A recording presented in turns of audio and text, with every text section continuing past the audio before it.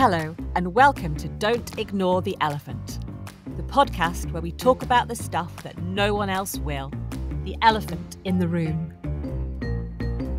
I'm Liz O'Riordan.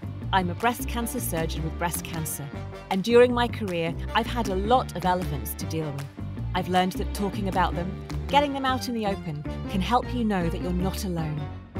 Whether it's cancer or other illnesses, mental health issues, sexual problems, bullying, harassment, or the death of a loved one, there are loads of things that can be hard to discuss. I know how powerful it can be to hear someone else talk honestly about their own problems. Some of my guests have lived these experiences, whilst others have dedicated their lives to helping those who have. I'm going to be chatting to them about it and asking the questions everyone else is too afraid to ask. In this episode, we'll be talking about bulimia, binge eating, and body image. One of the things I've learned since I had breast cancer is how important it is to exercise. We know that weekly aerobic and resistance sessions can improve the side effects of treatment and reduce the risk of it coming back by up to 50%. Now, I realised that as a cyclist, I wasn't doing enough, which is how I met this week's guest, Clara Swedlund. Clara is an online physique coach who also competes as a natural bodybuilder in the bikini category. And she helped me, aged 46, get fitter and stronger than I had ever been in my 20s. She's also studying sports psychology and understands how important mental strength is when it comes to tackling a fitness goal. And it's a topic which is close to her heart because you've guessed it, there's an elephant here that I haven't mentioned yet. Clara struggled with binge eating and the eating disorder bulimia when she was younger, and she knows better than most the pressures we feel to have the so called perfect body and how thin the line between healthy and unhealthy behaviours is. I'm so grateful that she's sharing her story with me today. Welcome, Clara, to Don't Ignore the Elephant. Thank you so much for having me, Liz. It's such a pleasure and honour to be here and to join you and your listeners in this conversation. You're welcome. And so let's jump right in with the elephant in the room. Yes. When did you first develop bulimia? Um, so it's something that gradually started to happen when I was, I think, about 15 years old. And it's something that I was never explicitly diagnosed by a psychologist by it, but I knew exactly what I was doing. Um, as a kid, I was always very just really interested in human behavior and i was always interested in addictions and like mental health issues from like from the age of about nine. I'd ask my parents really strange questions about you know why do people become alcoholics? And why do people do this? Ah. and i was just really interested in in human behavior in general. And so i was very aware of what eating disorders were from maybe about the age of 10 or 11. Um, and I think that was maybe one of the first times that in a journal that I kept, and I've kept a journal from, from a young age, that I noted in there that I thought I was fat and that I had to lose weight. And I just think that it was something that I was aware of and I kind of understood, but the behaviors themselves didn't quite fully flesh out until I was maybe 15, 16. Now it was summertime and I was deeply, just deeply dissatisfied with how I looked and how I felt in my body. And there were a lot of other stresses going on in my life. Um, I'm a perfectionist.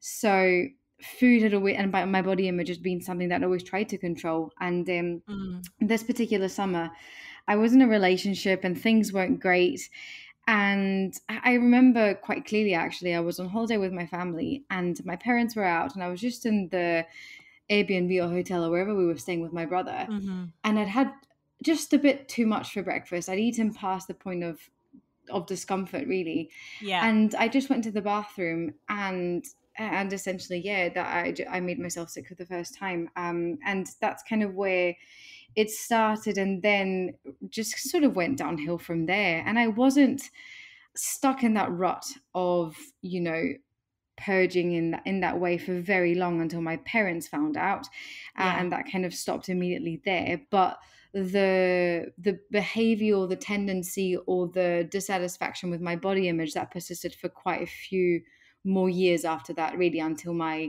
uh, my early 20s so for about 5 to 6 years it was something that was always, I suppose, like in the back of my mind or part of my experience. And I think I relate to that so much. So looking back through my diaries, a lot of them were I'm fat, I need to lose weight. And uh, mm. at school and at university, I was very aware that although I was slim, there were people thinner than me. And eating became something I used to control my behavior and how I felt. Yep, yep, absolutely. And I think that it's so it's so common, particularly for those of us, uh, and I'm including you because you're a doctor, and I think maybe I'm making the assumption, but most doctors are very, very high hard workers and high achievers. But a lot yeah. of us who end up struggling with with difficulties around food and around body image, um, it tends to be, or there seems to be a pattern, at least in the research, where it's linked to perfectionistic tendencies and sort of that high high achiever mentality where of course being 100% and being perfect is absolutely impossible in the real world.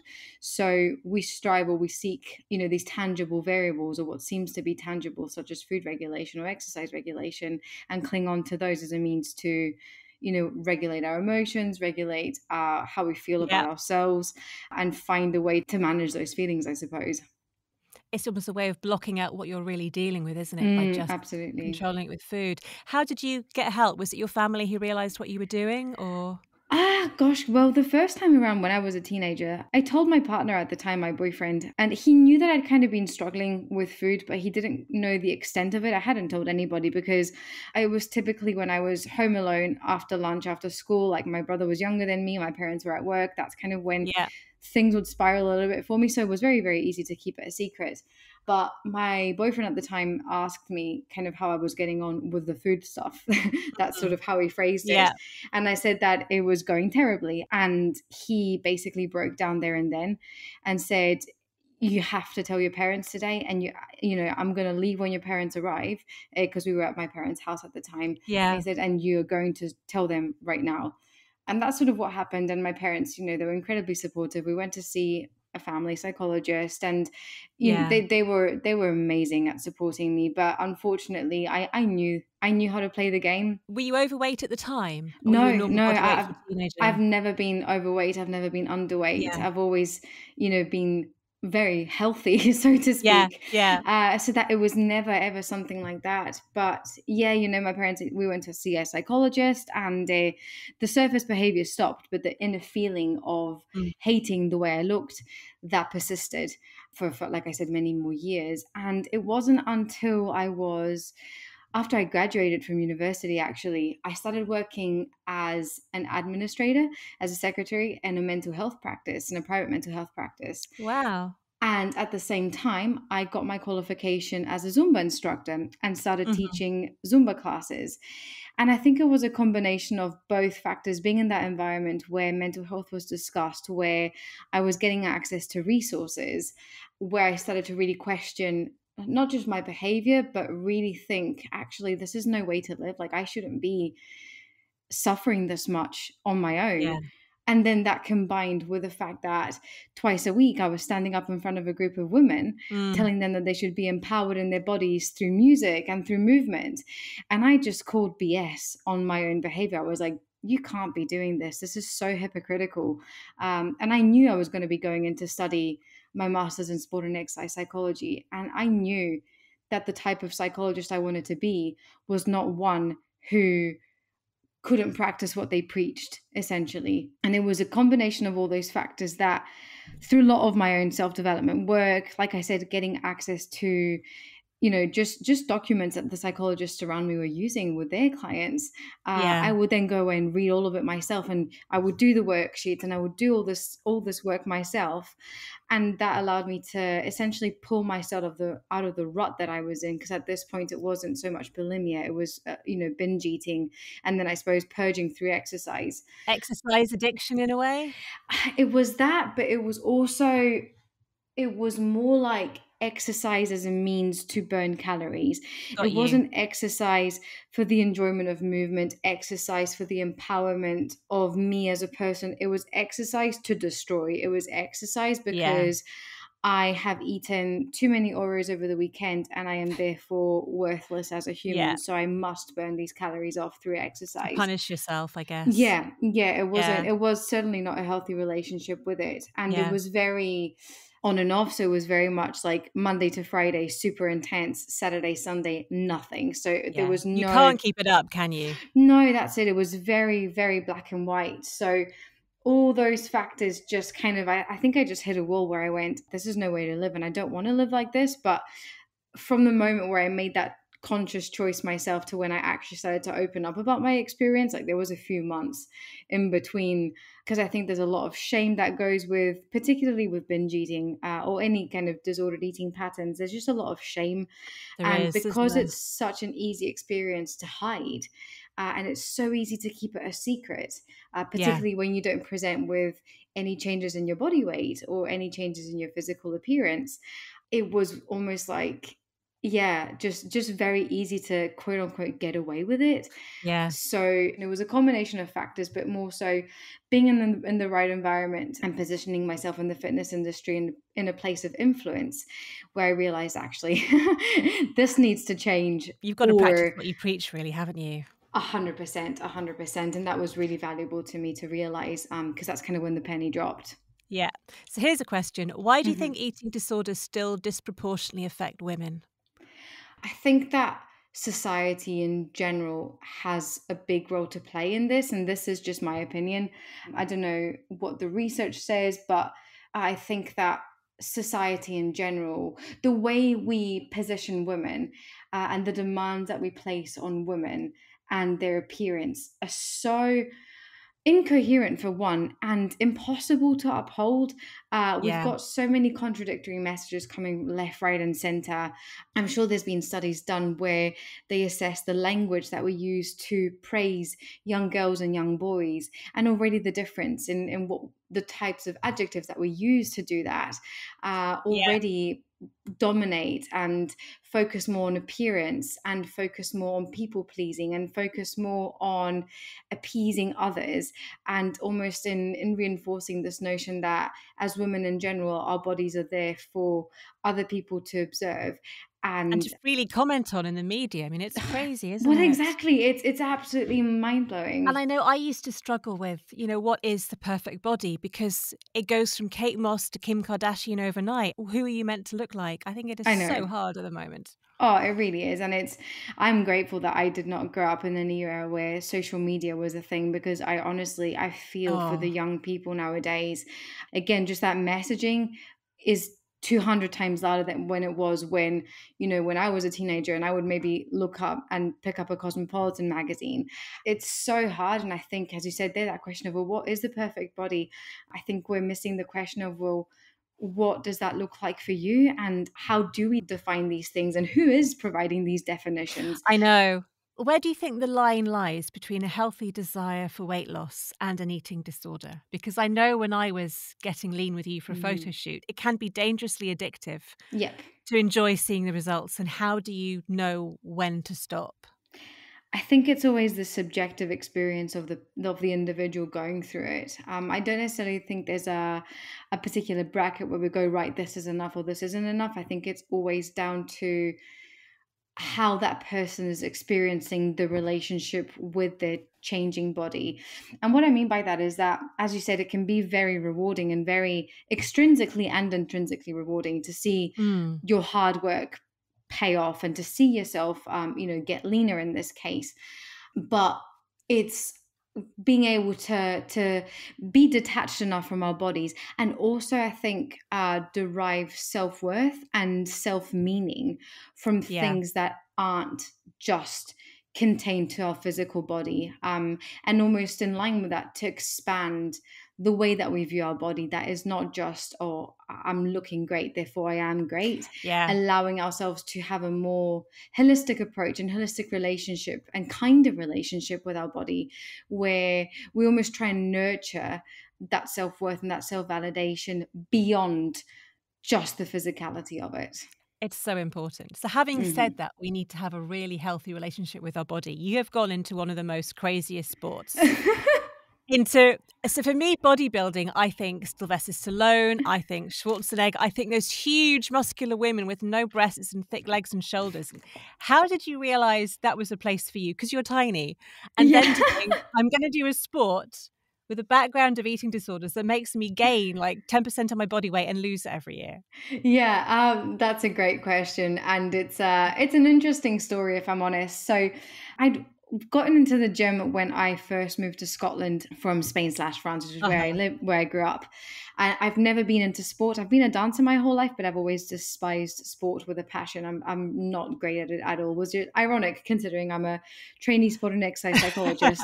but anyway, so when I moved to Scotland, I could see the uni gym from my uh, hall's window and I thought, you know what, this is a great, you know, I've moved to Scotland, new new life, new uni, new me. Mm-hmm. I'm going to start going to the gym, and I just developed such a passion for training. And at this point it was just i just loved being at the gym.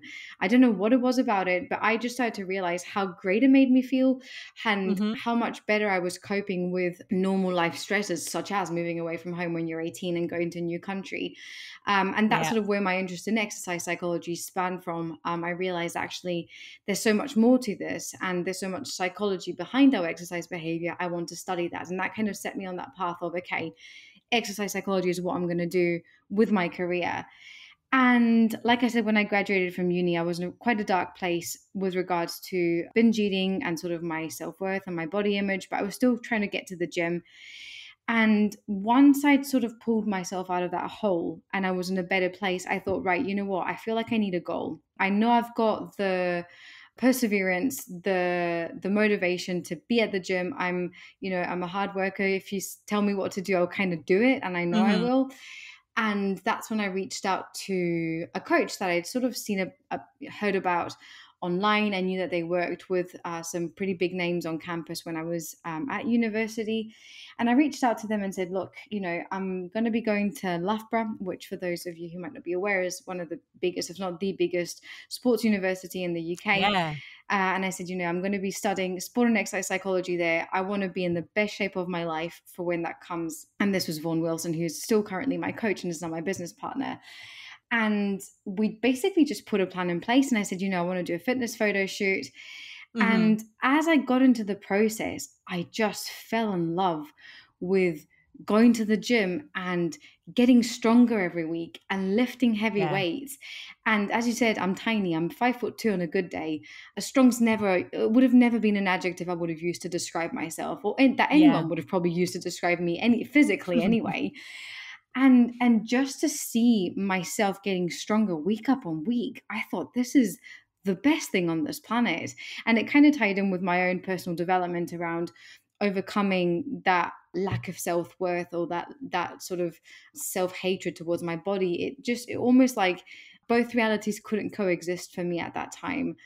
So it just the process of bodybuilding as opposed to competitive bodybuilding became almost like an escape or or relief or a way of for me to reinforce that actually my body is amazing and to really develop that that love for for my body and its own abilities and um through discussions with Vaughan, he kind of asked me one day, you know, have you thought about competing? And I thought, competing in what? I knew nothing about bodybuilding. It was such a foreign world to me.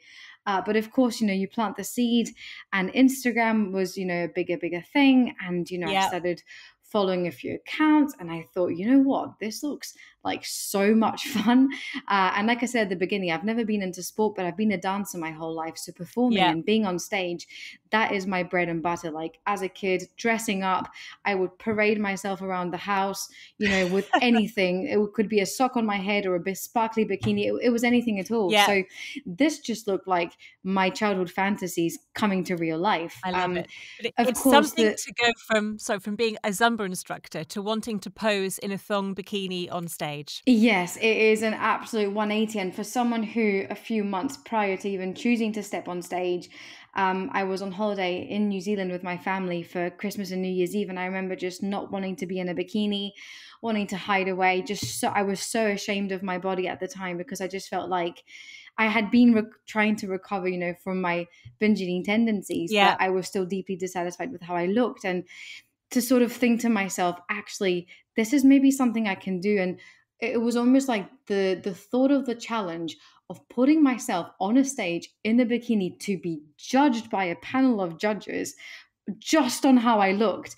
It was like the wildest of dreams or, or, nightmares. I wasn't sure at the time, to be honest. Um, but I thought, you know what? It's terrifying and it sounds like a challenge for me. So I'm just gonna I'm just gonna go for it. And I was dieting already for my photo shoot. I was maybe nine weeks away from from you know being sort of photo shoot ready, and mm-hmm. I found a show that was three weeks afterwards, and I thought, oh, you know, what's what's another three weeks? Well, it was the hardest three it. weeks of that whole prep, but um, but I just thought, you know what, let's just do this. And if I hate it, I hate it, and I never do it again. But if I love it, I love it. And of course, I came off stage. I didn't know what I was doing at the time. Yeah, but I had the best time of my life, and I thought you know, I, it was obvious to me that I didn't know what I was doing. But the minute I stepped off, I was like, right, I'm done with dieting for now, but I, I'm going to do this again. I am 100% doing this again. So, for people who aren't sure what bodybuilding means, how much weight do you gain or lose in a year and why do you do it? Okay, so I suppose this is all relative. So we'll use my highest and my lowest weight points for reference. So there's about 15 kilos in between. And from my highest to my lowest weight in what would be like an off season, so a gaining phase, I lose about a quarter of my body weight wow. in that time frame. Yeah. So the reason behind trying to gain weight in what would be an off season is so you can build sufficient muscle mass when you are in a calorie surplus. So you're going to the gym and you're training really hard uh, and you need a calorie surplus in order to be able to build yeah. muscle tissue. And of course, as a natural bodybuilder and as a female natural bodybuilder, this is incredibly, incredibly difficult. You really do need to push your, bod- your body to places where it is going to be more uncomfortable and a calorie surplus and gaining some body fat is going to be absolutely imperative in order to do that and then yeah. of course when you compete what you're being judged on is the muscularity, uh, but you need to be able to showcase that. And that's why you need to pull off all those layers of, of body fat that you've gained uh, in order to showcase an incredibly lean physique. And now, both extremes, at, at the extremes, I don't think it's necessarily you know quote unquote healthy because at the peak of my off season when i am sort of at my you know again i'll, I'll use the word heaviest but i'm using it very yeah. loosely here it feels quite uncomfortable if i'm honest how many body weight sizes do you go up and how do you cope with what do you have like three different wardrobes of clothes or yeah i've got two different wardrobes of clothes to be fair because i work in the fitness industry i spend most of the year in joggers or leggings which fit any body shape but yeah. jeans and that yeah, I do go up a couple of sizes depending on the on the shop, but I'm quite good at shopping for clothes that are kind of going to fit me year round. Yeah. And the way you cope with it, I think it is just knowing that I, I suppose developing your own personal self-worth separate to your body and working on that year round irrespective of what you look like. Yeah. How have you managed to do that? How have you managed to accept that you love your body when you're three or four different dress sizes in a year and you don't have that perfect physique all year round because as a bodybuilder you only look that good for about a month of the year don't you? Yeah and you look good but you feel awful so i don't know if it would be worth it anyway. How do you accept yourself when you're at your heaviest or your fluffiest or you don't look as good as you could? Yeah i think for me it's knowing that the things that I bring to the world and the qualities that I bring to the world as a person uh, far expand kind of what I look like. And it's something that I, I discuss with my clients a lot too, uh, particularly those who who find it quite triggering to step on the scales and to see those fluctuations it's kind of asking yourself well you know if i was to ask someone who d- cares deeply about you someone who loves you what the best three things about you are what would they say and the chances are nobody would ever think to mention your body weight or your body shape or your appearance yeah. And I think it's reminding myself that it's just how I present in the world and also that my body does so much more for me. Kind of there's there's this terminology called um body image flexibility and body sanctification. And it's almost that i suppose like metaphorical sense of understanding that your body is what allows you to exist in the world. Like my body yeah. allows me to be a partner. It allows me to be a coach to my clients. It allows me to be a daughter a friend a support system. It's what allows me to be in this world and to exist in this world. And so if I start to bully the one thing, almost like the vessel for my soul, if you want to call it that, yeah. if I bully the one thing that allows me to exist in this world, then what am I really doing to myself? How do I then expect to show up as the best person like that I could be? And yeah. that body image flexibility is just the comfort in knowing that my body serves so many more purposes than looking a certain way and actually just appreciating all the different things that I can do at different times yep. of the year. Like now I'm lean, I'm in between competitions and it's great. I love to be able to showcase through my physique the hard work that I have put in. Uh, but equally, when I am in and off season, the curves that I have, the ability to go out for food with my partner or cook a bit more, it, it's allowing that flexibility of, okay, well, what else can I or can I not do right now as a result of, of I suppose, my yeah. body shape and what I look like. I think it's such an important lesson. I mm. I really really struggled when I was diagnosed with cancer. So I I lost my breast mm-hmm. and I felt that I lost my femininity overnight yeah. and then the menopause made me gain 10% of my body weight and mm-hmm. I just I hated myself. Mm-hmm. More than I ever did as a kid and it is so hard to give yourself a break because yeah. the mirror is always there. Yeah. And it's so easy to look in the mirror and look at everything that you hate and how can you help us learn to love ourselves. So, like you know me, I, even after working mm-hmm. for a year with Clara and getting really fit and strong, I still wouldn't get my legs out in public. Mm-hmm. And it's how how do you learn to love yourself? That's a difficult question to answer and one that I could go on so many different Sorry. no, you're fine. I think the main thing is I suppose starting off like what I said there is understanding what you bring to the world and understanding what your unique qualities and attributes are as a person. If it's hard, because I know that some people find it quite difficult to come up with these things and to say them about themselves, especially in British culture, not to bash it, but British people aren't very good at speaking highly of themselves. And so to be able to sit back and think, okay, well, actually, what would uh, my partner say about me? What would my best friend say about me? And what do they appreciate about me? That can be a really good starting point for you to be able to take that step back and say, actually, I am so much more than my body or than the way that I present myself. And I think then it's also realizing that nobody's judging us as much as we're judging ourselves. And considering also the function of those judgments, I mean, what what purpose do they serve really? Why are we trying to keep ourselves in check? Why are we not giving ourselves yeah. permission to be kind to ourselves? And how what do we fear losing?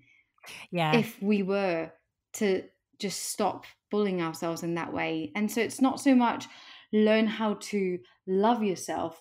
But I, I think an, a nicer, almost like an easier way to think about it is how can I be a kinder friend to myself? How can yeah. I be the person who, you know, rather than putting myself down, I don't have to big myself up straight away, but how can I hold my own hand exactly. in this process and walk alongside me. Um, I quite like thinking about it as a seesaw analogy. Um, mm-hmm. If you think about the self critic being on the one side, it's well, how can we balance the self critic? What can I say to the self critic? that might you know balance its argument because of course a self-critic has got a lot to say uh, and sometimes you know it does point towards things that we would like to change. As you said, there's nothing wrong with, say, wanting to lose some body weight. There's nothing wrong with wanting to lose body fat, with wanting to change your body shape. But how can we make sure that we do that in such a way that the self critic isn't dominating that narrative? Yeah. And I think it's realizing actually nobody cares what you look like. No one's yeah. looking at you because we're all so worried about ourselves. Mm, exactly. Do you think that people with eating disorders get drawn to the rapid weight gain or loss of bodybuilding and use it as an excuse to fuel their behaviors? Yeah. Um oh gosh. I think there is a lot to say about that. I think that bodybuilding provides a I want to say quote unquote safe space for people who struggle uh, mm-hmm. uh, with disordered eating and uh, an impaired relationship with exercise because in the bodybuilding sphere, those behaviors are praised no one's going to bat an eyelid if you go to a restaurant with a Tupperware and you explain that you're a bodybuilder and that you're dieting for a competition. I mean, people might not understand it, but in the in the bodybuilding yeah. community, that's completely yeah. you know acceptable.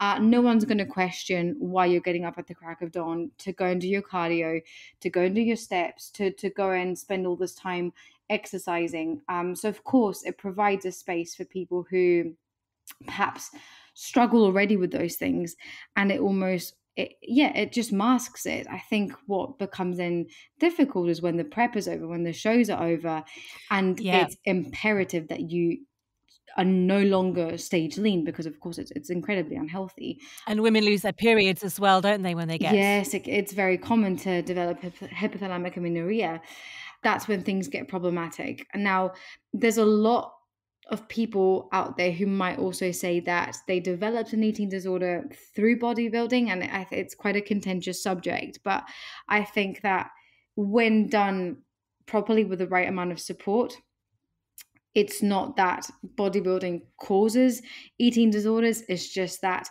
being in a food focused and exercise focused environment inevitably increases our preoccupation with our body image and food. And it's yeah. then ensuring that before you even consider prepping or dieting or whatever it might be, that you have enough support or that you have a support system in place that can ensure that when things do wobble, you, you've always got something to fall back on. Exactly. You know, I think I've been like lots of women who mm-hmm. I've looked at the telly, I've seen amazing athletes, and I've bought the DVDs and I've sat watching them eating a packet of biscuits thinking I could look like that. And then mm-hmm. I beat mm-hmm. myself up because I don't. I think part of it for me was I haven't had that mental light bulb moment to say, right, you're going to get healthy, you're going to do this, you're going to put everything in. Mm-hmm. Is it easy to change your body healthily if you're not happy with it? Could anybody do it? it's easy to change your body, but I think that changing your physique in the long term in a way that is sustainable and healthy cannot occur without changing the mindset and the psychology around it. So, yeah. what I mean by that is that you cannot expect to continue to hate yourself and to continue to allow that negative narrative to dominate and then just magically you know, lose 10 kilos and be happy. That it's just not going to yeah. happen because if you were unhappy in the first place and if that negative narrative persists, it, it's not going to matter what you look like. That's exactly. still going to dominate. So it's really important to understand that when you start off a journey such as that of a physique transformation, in order for it to be, I think, in order for it to have longevity, you're going to have to be prepared to be vulnerable and to be open to coming face to face with some of those negative thoughts that you might have about yourself and to really question them and like i said ask yourself what the purpose of them is or what function are they serving and are they serving you because without those changes i genuinely don't think it's possible to develop a healthy relationship with your yeah. body and and to make that sustainable in the long term anyway and I think that was really important for me because I remember before we, we kind of started doing anything, you said, Well, why do you want to lift weights? Why do you mm-hmm. want to do this? It's like, so am I going to like myself when I'm done it? And I am actually doing it to get fit and strong and healthier after cancer. And the yeah. benefit is actually looking good. But if I don't get there, you kind of still have to like yourself. Yeah. And that's absolutely. something that coaches have to when you take a client on, are they doing it for the right reasons?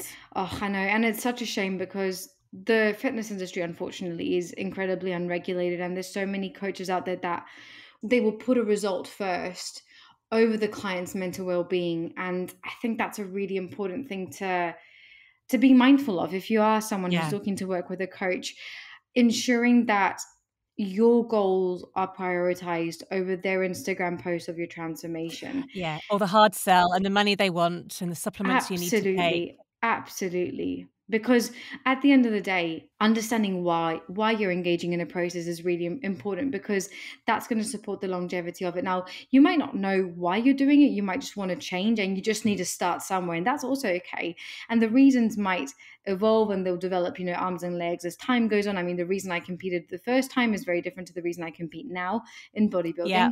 but having a strong enough motive is going to be imperative particularly if you want it to be sustainable. And and i get i keep coming back to the sustainability point because you know being lean and looking shredded and all this type of stuff i mean that's not long-term no, health. it's like two weeks a year maybe that's it? it that's it. And the long-term health is the behaviors that support that. But those behaviors can only be maintained when we feel like we're engaging in them volitionally when we feel yeah. like it's our autonomous choice to do it when we feel like we want to do it because it's important to us and it's aligned with our and values. we enjoy it we're not exactly. in the gym because we've been told to. We actually enjoy the sport we're doing. Exactly. And that's why finding something that you enjoy is also so important and not just kind of blindly following the next kind of hot hit on on the internet. It's why I stopped triathlon because I realized I do not like running. Mm-hmm. Although I'd love to mm-hmm. do an Ironman, I'm never going to run a marathon again to do it. Yep, there you go. One of the biggest things you taught me was how to eat properly. Mm-hmm. because you kind of know it's 80 20 in fruit and veg, but I know you talk a lot about how much protein, carbohydrate, and fat you should have. So it's mm-hmm. I started weighing out. I realized I didn't eat enough protein. Yeah. Because I don't like protein for breakfast or lunch. I was living off cereal. So I was mm-hmm. suddenly weighing out all my food. And my husband thought I was mad or got really frustrated. And just for goodness sake, this is important to me. How can you help bring your family to support you or to understand when you are having to weigh out all your food so you know you're getting the right calories? Have you got any tips?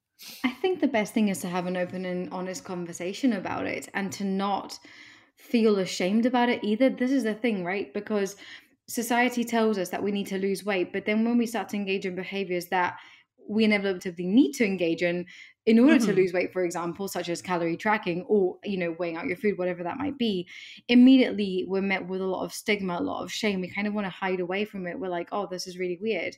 And i think that just having that open and honest conversation and explaining to whoever it is that's unsure about it why you're doing it and also what it means to you so bringing again that element of personal significance into it can be really helpful. So rather than shutting them off and going like, "Oh, you don't understand," like I need to do this because I've done that before and it's it's not a fun conversation to have. but you know, being open and saying, you know, well, I'm trying this new thing. I'm trying to explore kind of what health and fitness could look like if I take it down this avenue. And for me right now, it's important to weigh out the foods that I'm eating in order to ensure that I am meeting my nutritional requirements at this stage almost yeah. like explaining it to them. And if you're unsure and if you're working with a coach, your coach can always do that talking for you too. It, okay. it wouldn't be the first time that I've had a conversation with like a client and their partner, and it's been their partner asking me questions saying, okay, well, can you explain this to me? Because I'm not too sure about it.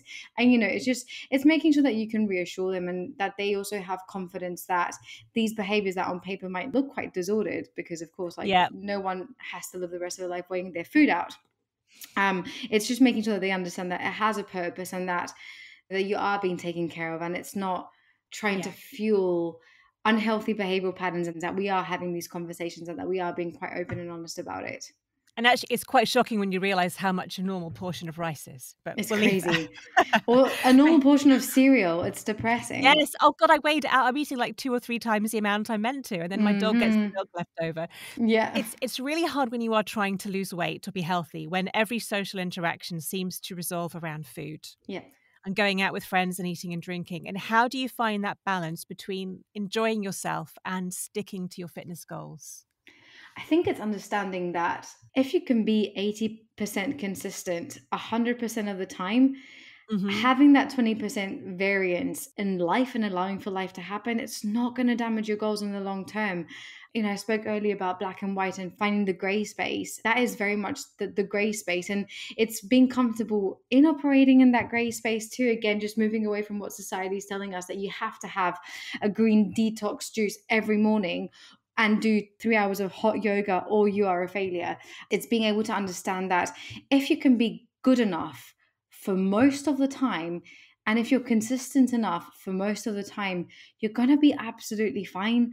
And if you do kind of go out for a meal and if you do have a weekend where you have a couple of drinks and and a pizza and you're a bit hungover and you don't exercise it's really not the end of the world and an analogy i use yeah. all the time is that of the punctured tire so if you imagine that you're going on holiday you're going on a road trip and you're buzzing you've been planning it for ages you've packed up the mm-hmm. car you know you're halfway there on the trip uh, and suddenly you get a punctured tire what do you do you get out of the car you change it or you wait for someone to come and fix it and then you keep going the last thing yeah. you would do is get out the car and go, oh, well, one tire is punctured. I might as well just destroy the other three or turn around and give up on this holiday. You'd never do that. It's ludicrous. You say it out loud. It sounds like a joke. I mean, it is. I know. No, I love this. You told me this. I was having yes. a really, really bad day and then just the world fallen apart. And that's sod it. I'm going to go and eat a load of biscuits. I said this with my last guest, and my husband won't know because the evidence is gone. I've ruined everything. No, you haven't. It's just a punctured tire. Stop self sabotaging. It's like we can move on. It's okay. And it was just like a light bulb We all have wobbles. And I think that's it. It's kind of it's allowing ourselves the kindness to go, well, I'm human. you know, exactly. I'm not a robot.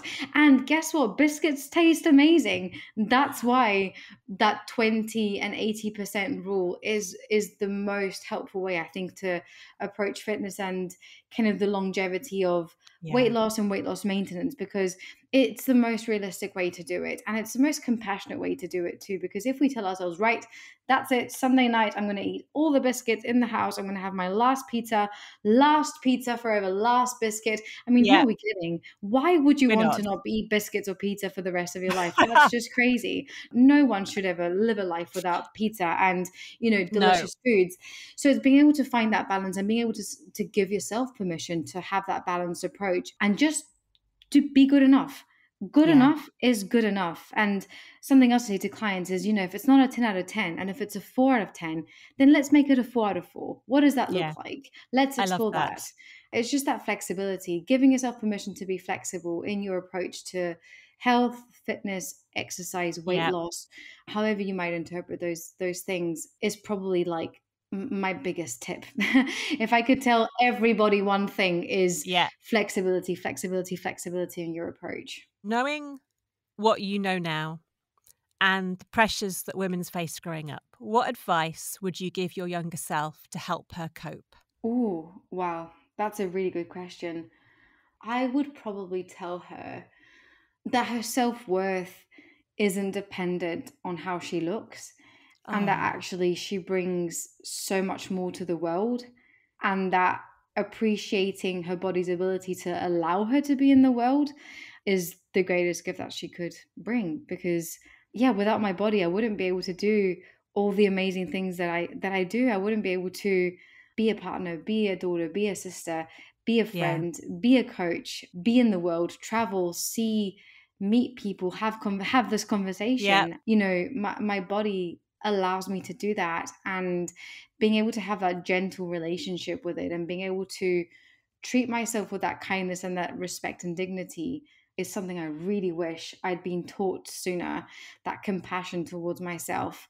Because again it's that perfectionistic mindset. I thought that in order to be the best i really had to yeah. i had to be the best so i wasn't the worst right? So it was that yep. very negative negative perception. Uh, and if you're not the best then you are inevitably the worst. Whereas actually exactly. the good enough approach I, I, wish i could go back and tell myself you know good enough is good enough uh, and you'll be fine. Yeah. Definitely. Oh i'm gonna take that. Yeah. Now before before we say goodbye i've just got one more question. Mm-hmm. so i started um, a jar of joy which is basically a goldfish bowl full of cards, um, when I found out that my cancer had grown during chemo. Mm-hmm. It was a really, really low time in my life, and I just needed a reason to smile. So every time something good happened, like my husband letting our puppy sit on the sofa, I'd write it on a card and put it in a jar.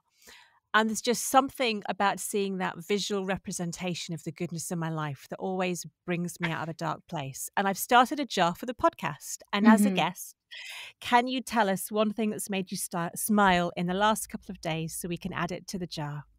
You know what? I was I knew that this question was coming because I've been listening to all the other podcast episodes. Oh, thank you. And I was thinking about this in the shower earlier, and I was thinking, oh, I really hope can I can I put two things in the jar, or yes, do I have to you can. pick one? Okay, no, fantastic. you can pick two. Okay, that's great because I have two, and they're just like they're really really strong for me. So, like I said, I'm currently in between competitions, uh, in between bodybuilding competitions, and my parents have never been able to come and see me compete, and it's not something that they've ever really understood. But finally, this year, like I think because it's the third time that I'm doing it, they're starting to I'm letting them into the world of competing a little bit more too. And this weekend, um, the competition that I was doing, they actually had a live a live stream, and oh. I sent my mum the link, not thinking anything of it. I just said, "Oh, you know, this is a live stream link in case you want to watch it." Blah blah.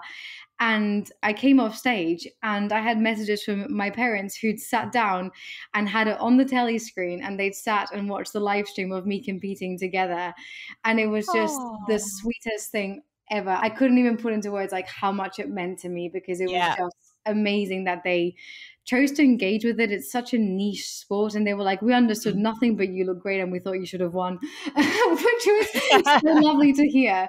So that would be the first thing that I want to put in the jar is just an appreciation for my parents. Mm-hmm. And the second thing is that after my competition on Sunday, I traveled back up to Scotland and I was mm-hmm. able to take my fiance out for our first meal out uh, in 19 weeks since I had wow. a a break in between competitions. And it was so nice to just be able to take him out for dinner as a thank you, as an appreciation for everything he does for me, not just when I'm prepping, but he's just my central support system. And he does not understand bodybuilding either, but the fact okay. that he supports me in my goals and in doing anything that makes me happy, I'm, I'm just incredibly grateful for him for that and it was amazing. And obviously, I got to go out for food for the first time in 19 weeks, so that was absolutely epic. I did see a huge pizza calzone on Instagram. That oh, looked very, glorious. very good. Yeah. oh, thank you so much for sharing those with us, Clara. They are definitely going in the jar. Amazing. And thank you so much for talking us today. All the best for the competitions next week. Thank you so much, Liz. It's been such a pleasure to chat to you today. And that brings us to the end of this episode of Don't Ignore the Elephant. I'm so grateful to Clara for speaking so openly and honestly about her eating problems when she was younger. If you or someone you know are struggling with disordered eating, there are some support services listed in the show notes that could help. Please take a look and share them with anyone who might need them. It was fascinating to hear how Clara was able to turn her perception of her body upside down and now sees it for what it is simply a vessel to help her achieve her goals. I love her punctured tyre analogy and use it a lot. Whenever I have a wobble or I beat myself up because, yes, I missed a gym session or a deadline, I'd love to know your tips for being kind to your body when things get tough. We've had so many fantastic comments about Orla's episode. Jack loved how she reframes anxiety in a positive way. Maria said she listened while doing the ironing and laughed, cried, and nodded the whole way through and Marianne loved Orla's insight about the little ripples we create as we move through life. She said we've definitely set off a couple of ripples for her in Orla's perspective about anxiety. Tell me what you thought about Clara's episode and whether she's helped you love your body just a little bit more. I'm also looking at the jar of joy right now, and it's great to see it filling up with last week's entries. Keep them coming. Liz said she helped her daughter choose her wedding dress. That's such a special day. Fiona said turning on the TV and seeing Mary Poppins, bringing back happy childhood memories. I love that film too, Fiona. And a lovely lady said that she's just ordered four glass jars for her family. I love that this idea is spreading. Have you started yours yet? In the next episode, I'm going to be speaking about one of the biggest elephants there is money. I know it's a topic that many people find hard to talk about, especially around Christmas time. My guest, Davinia Tomlinson, founder of Raincheck, helps women take control of their financial futures. I can't wait for you to hear her advice about when to spend it and when to save it. If you've enjoyed the show, make sure you subscribe so the next episode is ready when you are. And if you listen on iTunes and have a few seconds spare in your day, could you leave a review and let me know what you thought? It helps other people find us so I can help them start talking about their elephants in the room. Thank you for listening. Don't Ignore the Elephant is produced by Bird Lime Media in association with Elizabeth Richards.